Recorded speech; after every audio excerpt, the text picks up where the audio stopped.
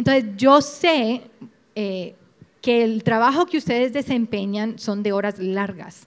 Es un trabajo que toma toda su, todo su intelecto, así como para mí son los números, para ustedes la parte creativa, la parte también de no simplemente tenerla aquí, sino después desarrollarla y que sea un producto final, son countless hours of tireless work. Es imposible que una persona que tiene todo ese trabajo también maneje toda una parte contable. Entonces, tiene una razón de ser, no es, no es, no es decir que es porque quieran ser desorganizados, no, es que la verdad del trabajo que ustedes desempeñan es bastante. Eso es así. Lo más chistoso es que ya está casada con alguien que hace video. Los que hacen video odian extremadamente la finanza y la contabilidad. Y los que hacen contabilidad, pues, no les gusta hacer video. Eso está chévere eso. Una cosa, básicamente, deducir taxes. Esa palabra a mí me confundía mucho y yo no entendía. Eh, voy a dar un ejemplo. Eh, este evento que yo hice aquí, que yo creé, vamos a suponer que tuvo X cantidad, vamos a ponerle 5 mil dólares de gasto, ¿verdad? Que, yo, que yo invertí. Eh, eso se puede deducir en mi compañía. Absolutamente. Y te voy a decir por qué. La regla, la regla para tú saber si algo es deducible o no es muy sencilla. Tiene que ser un gasto ordinario y necesario para desarrollar tu, tu trabajo, tu negocio. Si tú, digamos, por ejemplo, eh, vendes, qué sé yo, pulseritas, de las que hacían las niñas en las épocas... Las pulseritas. las pulseritas que hacían las niñas. Y digamos que tú lo coges eso y decides emprender un negocio, pero no haces dinero después de tres años. En los primeros tres años es normal que una compañía tenga déficits porque está empezando un negocio. Pero si tú después de tres años no tienes ganancias, después de tus gastos, tú no tienes un negocio, tú tienes un hobby. ¿Ok? Lo que hace un negocio es que tú desempeñas un negocio para tener ganancias. Eso no significa que no puedas tener una mala racha, ¿no? Que pasó COVID, que hubo esto, que no, está bien. Pero si tú tienes mala racha año 1, año 2, año 3, año 4, año 5 y se vuelve un pattern, el IRS puede decir, ¿sabes qué? Usted no tiene un negocio, señor, usted lo que tiene es a hobby. Eso es así. Bueno, si, entonces, deducir taxes, para, para ponerlo en la forma que yo le explico, que todo el mundo entiende un poquito, ¿verdad?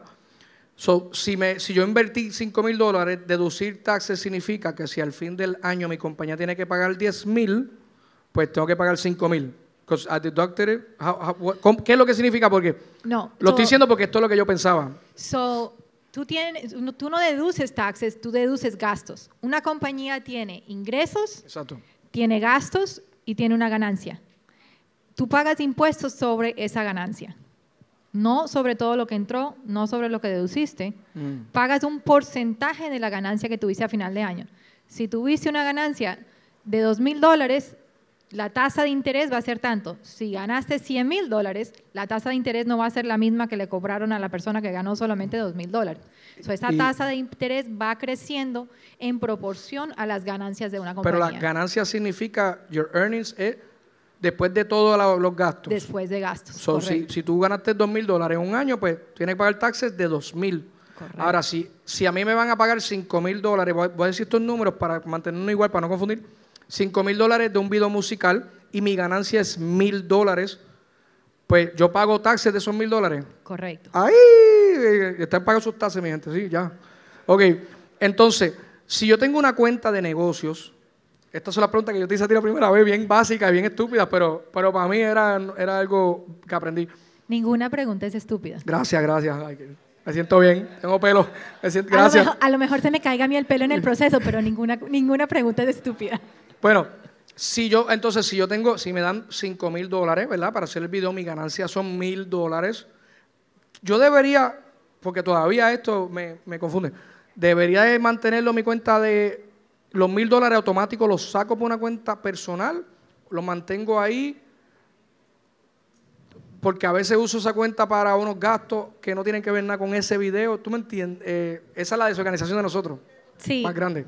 Pues. Atiendan, la verdad. Si, si no tienes dinero de cash flow, yo te diría no puedes sacar esos mil dólares porque entonces ¿con qué sobrevive tu compañía? Eh, no los puedes sacar inmediatamente pues si lo necesitas. Pero si tú, si tú necesitas eso para algo personal, sácalo de ahí y pásalo a tu cuenta personal. Exacto. Correcto. y muchas veces a nosotros nos pasa que pues, pues que ahí es que nos quedamos. Y a veces tenemos que usar esa ganancia para pagar la luz. 100 dólares ahí se fueron. ¿Todavía había que pagar el taxe o ya la luz se considera que no hay que pagar el taxe de los mil? ¿Me entendiste? Correcto, no. Acuérdate que tu declaración de impuestos es sobre, sobre cada año. Eso es de todo el movimiento que tengas en un año. Si tú tuviste un gasto de la luz, un gasto de la luz, sin la luz no puedes desarrollar el negocio, es un gasto ordinario y necesario. Entonces, eso se vuelve parte de lo que de los gastos que tenías. eso, esa ganancia de mil ya no fueron mil, ahora fueron 900, mm, porque gastaste 100 para la luz. Por ley se puede, yo tengo, y yo, sé, yo, es la pregunta que ya yo le he hecho, pero yo tengo un, un apartamento de tres cuartos en Doral, estos apartamentos que hoy día están pagando 20 mil dólares, yo creo, por mes. No sé qué pasa en Doral. Eh, no estoy pagando eso, es mentira. Pero yo tengo tres cuartos. Uno de ellos es mi estudio, donde yo me grabo para la academia, todo. ¿Qué yo puedo deducir, que me, me, ha informado, de la renta? Si mi renta son, mi renta son exactamente 2.800 dólares. ¿Cuánto yo debo deducir? ¿Debo tirar un número o cómo es? No. Entonces, la manera que esto se hace es exactamente como tú estás diciendo. No puedes utilizar el comedor para trabajar y pensar que esa área la puedes deducir. Para poder deducir un área de tu casa que estés usando para tu negocio, tiene que ser un área apartada para ese negocio únicamente. So, digamos, por ejemplo, el caso de Javi, que tiene un cuarto edición, un cuarto donde él maneja solamente su trabajo, puede deducir el square footage. Entonces lo que el IRS va a decir es cuántos pies cuadrados tiene el apartamento, cuántos pies cuadrados utilizas para tu negocio y dime cuántos son todos los gastos que tienes con tu apartamento. No solamente eh, las rentas, sino también si hiciste una reparación al apartamento, también la electricidad, el internet, todos esos gastos van a ser parte de y van a tomar el, el porcentaje de en base al square footage que estás utilizando. So, por ejemplo, si yo pago 2.800 y, ¿sabes? Estamos hablando como loco porque no sé, el square footage, pues cuando yo lo, lo, lo figuro, son 600 más o menos, pues puedo añadirle la luz, el internet y cosas, llegaría a 800. Por ejemplo, estamos dando un ejemplo, no es exactitud. Exacto. Eso, eso es lo que es, ¿verdad? Exacto. Ok, si tienen duda, acuérdense en alzar la mano. Yo, no, tacho, yo estuviera todo, todo el cuarto. Ahí vamos, dale, vamos contigo primero ahora. Eh, Ani, ven, prepárate para, Ani, prepárate para la duda, perdóname. Eh, otra pregunta que se me fue el hilo ahí. Ahora, ¿por qué tú dices, y, con respeto, o sea, digo, ¿por qué tú dices que si tú estás en la mesa del comedor, ¿quién va a saber que yo, que yo estoy mintiendo si yo tengo tres cuartos y los tres cuartos están el hermano mío, el primo mío y el, y el sobrino? Esto es algo que los boricuas hacemos mucho, ¿verdad? En, esa, en, en esa parte y mentí, o sea, estoy mintiéndote a ti y te digo, no, no, sí, yo tengo un estudio completo. Tú no vas a ir a la casa a verificar.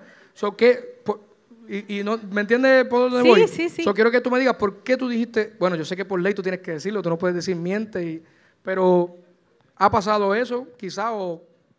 sí, sí ha pasado.